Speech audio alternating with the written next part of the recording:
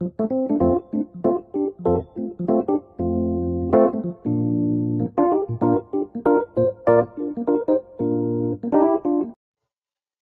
everyone, this is Ramalinga Prasad Kuppa. Welcome to my channel Pharma World. Today's topic is dissolution test as per USP chapter 711. In this video, basic concepts of dissolution test as per USP are discussed. The viewers are advised to read USP chapter 711 for more detailed information. Purpose of dissolution test. Dissolution is the process in which the substance forms into a solution. By simple understanding, the dissolution process is dissolving the acceptable set amount of the active ingredient into solution. Dissolution testing measures the extent and rate of solution formation from a dosage form. So, this test measures how fast or how slow the active should be released and how much should be re released into the necessary part of the body system to be therapeutically effective.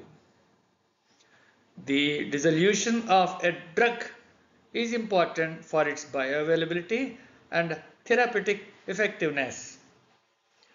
When the active is made available in the body, it is useful for therapeutic benefit. Its significance is that it must be released from the product and dissolve in the specific part of the body for absorption into the bloodstream can happen for a drug to be effective. Drugs act in different parts of the body for therapeutic activity. So, the dissolution test determines the amount to be released at acid stage in digestive system or more alkaline stage in intestines. The acid stage analysis will reflect this. The buffer stage will reflect the release at alkaline state in intestines. If the drug should act in alkaline stage, the limit of the drug release at acid stage analysis prescribes that the drug release should not be more than the specified amount. Let us see the prescription of USP chapter 711. Dosage unit is defined as one tablet or one capsule or the amount specified. There are four types of apparatus in use. The type prescribed in the individual monograph should be used for analysis. Apparatus 1 the basket apparatus.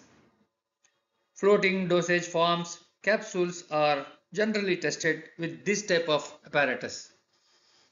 Apparatus 2 paddle apparatus. This method is used for many dosage forms which sink to the bottom of the vessel without any problem. Apparatus 3 is reciprocating cylinder. Reciprocating cylinder apparatus is utilized for drug release profiling from extended release products.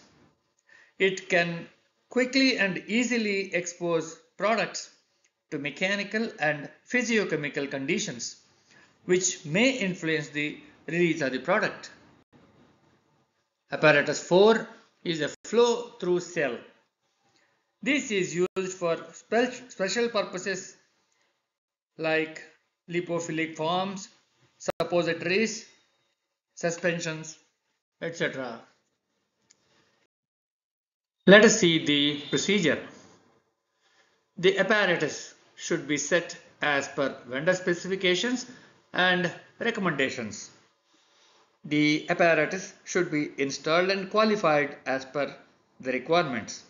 The equipment should also be calibrated as required before starting the analysis.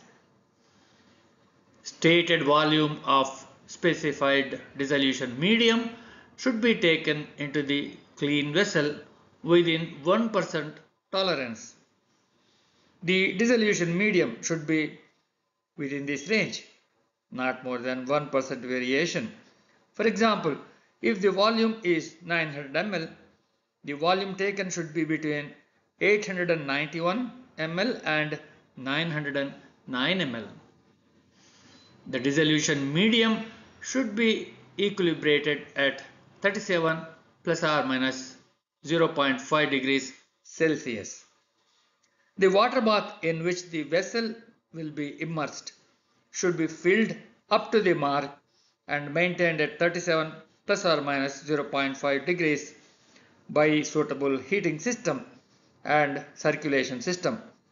Then only the vessel with the dissolution medium also will be maintained at that temperature.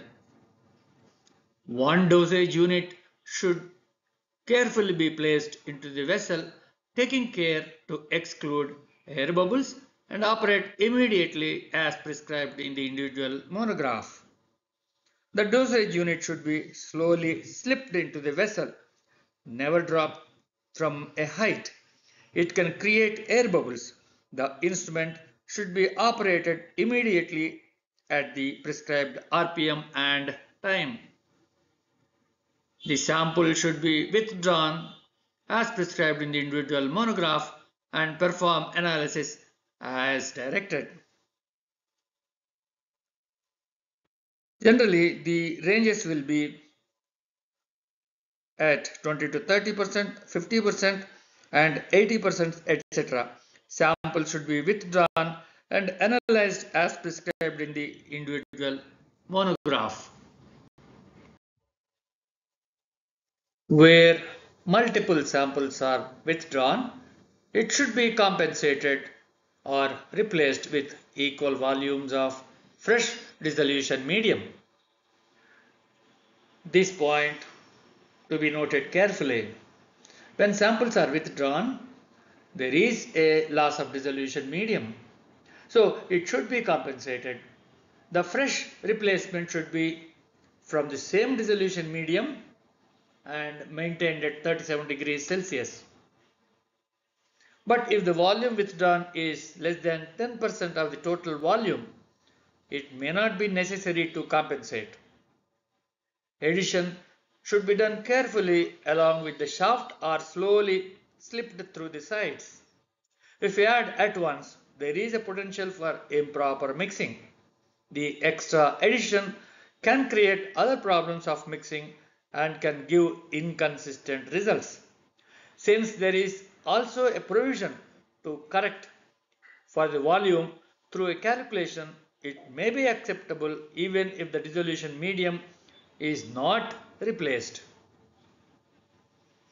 The fresh medium should be maintained at 37 degrees Celsius when compensated. Since the medium is maintained at 37 degrees Celsius, during the entire run, it is important to note this point. The vessel should always be kept covered to avoid any evaporation losses. Sampling at specified interval should be taken in such a way that it is from midway between the surface of the dissolution medium and the top of the rotating basket or blade not less than 1 centimeter from the vessel wall. There are specific cannulas for this purpose to sample exactly as prescribed in this. It may be interesting to check once whether the cannula samples the way it is supposed to be. The dissolution medium as directed by the individual monograph should be prepared between 20 and 25 degrees Celsius. This is important point to note. pH adjustment for any buffered dissolution media should be adjusted to plus or minus 0.05 units of the set value. Dissolved gases should be removed by heating the media at about 41 degrees while stirring continuously and filter immediately under vacuum through 0.45 microns or less filter. This is to avoid any dissolved air bubbles. This is a recommendation as per USP chapter 711. For single time specification is prescribed, the test may be concluded in shorter period if the requirement is met. Even though the run is longer, if the sample meets the dissolution criteria at specified time sampling, it is acceptable to conclude the run earlier. Time for taking the sample for analysis at the specified time should be within 2% of the prescribed time.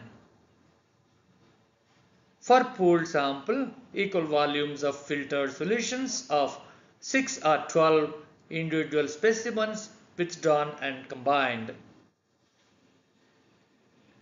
The procedure discussed so far is for sampling from individual bowl and evaluate to see compliance as per table 1 of USP 711.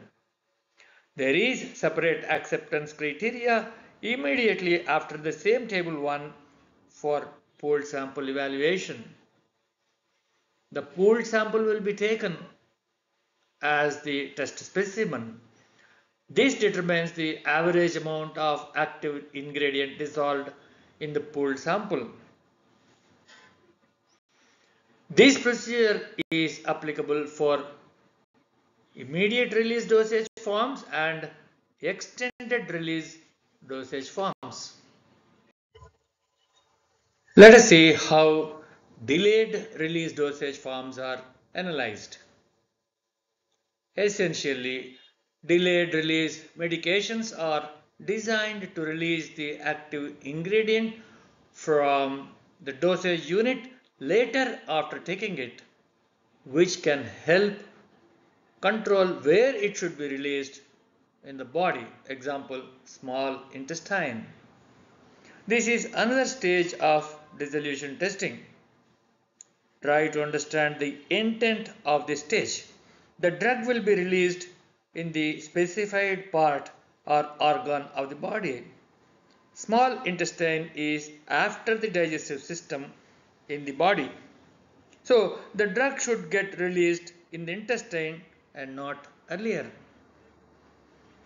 This is usually done to prevent the medications from being broken down too early in the digestive system which reduces the active ingredient potential and has side effects.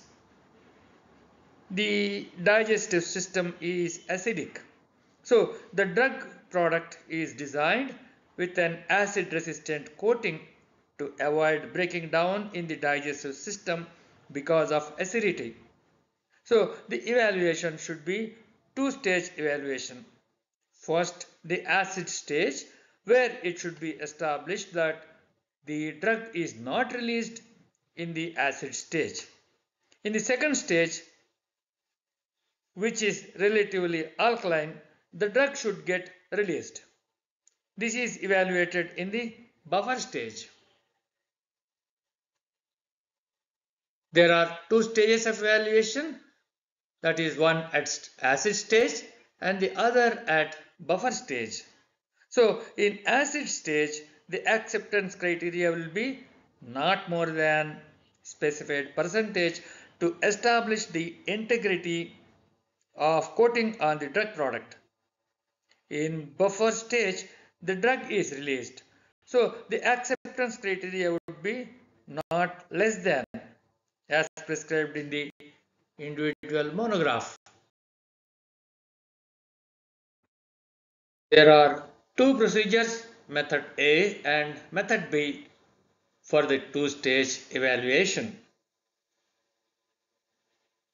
In method A, 750 ml of 0.1 normal hydrochloric acid solution is used as dissolution medium.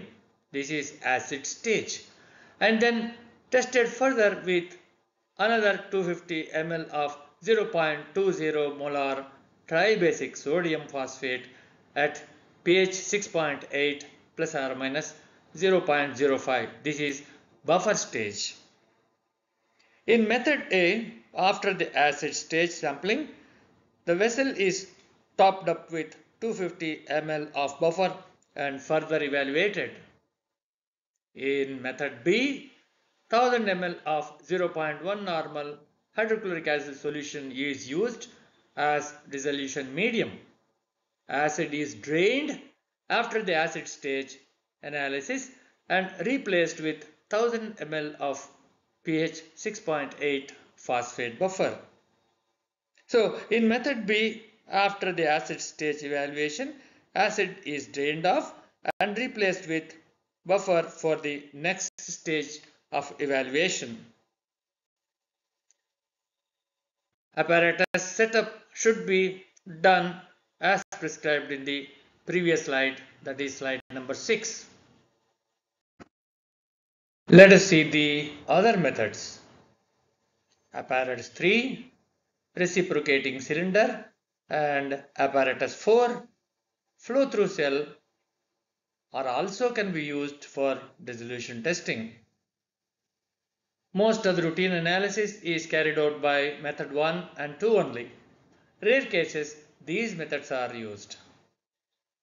However, Japanese pharmacopoeia does not accept the procedure using apparatus 3. USP chapter 711 indicates this information as footnote 3.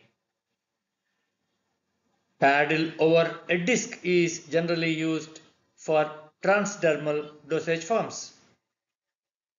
Rotating cylinder type apparatus is also used for transdermal dosage forms. Reciprocating disc type is used for non-disintegrating type of dosage forms. Let us see on interpretation of data for immediate release dosage forms and pooled sample the acceptance table 1 should be used for evaluation as reference. For extended release dosage forms, acceptance table 2 should be used. For delayed release dosage forms, acceptance table 3 should be used for acid stage and for delayed release dosage forms, acceptance table 4 should be used for buffer stage. I hope that this brief explanation is helpful to understand the intent of dissolution testing. Intricate details of analysis are not focus point of this video. So please read USP 711 carefully to understand fully on details of analysis. Thanks for watching. For more videos, please do subscribe, like and share. Thank you.